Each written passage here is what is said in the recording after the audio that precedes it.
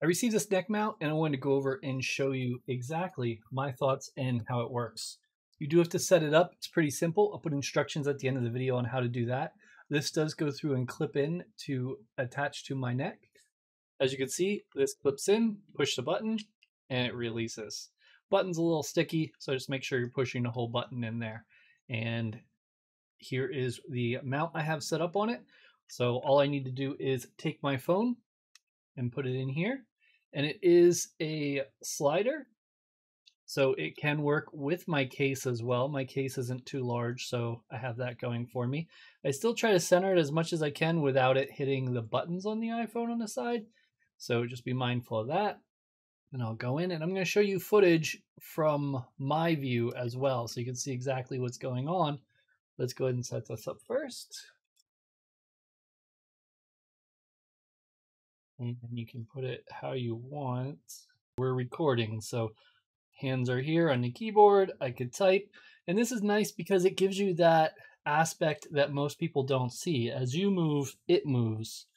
So it's really nice. I have to be honest, it took me a little while to get used to it because it's not easy to see, but you can see it.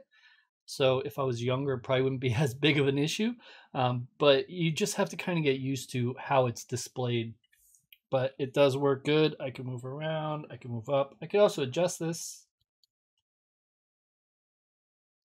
So you can see further. Step back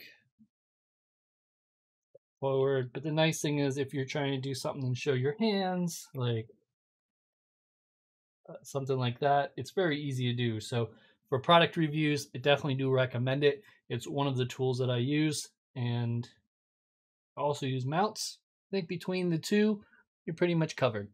Just again, you just have to get used to viewing it down in like your peripheral vision, if you will. And here's the setup. So overall, I definitely recommend this.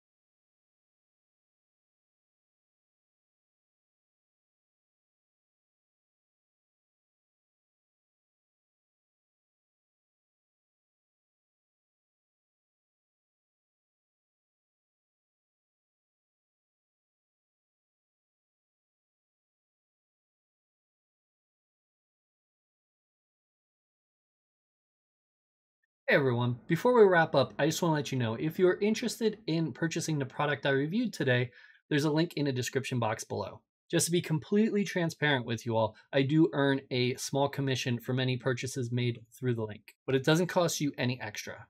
But using my link will go through and support my work, and I generally appreciate that. Your support helps me continue to create more content and provide honest reviews for you. If you'd like to see more product reviews, feel free to visit my Amazon storefront below. Thank you so much for your support, and I hope my tutorials continue to be helpful to you.